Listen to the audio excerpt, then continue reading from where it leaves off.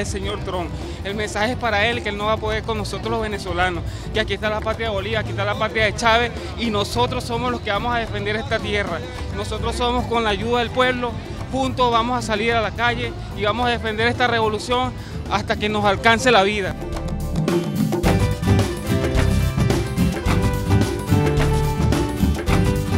Aquí el pueblo de Venezuela está protestando y está a favor de nuestro comandante en jefe Nicolás Maduro,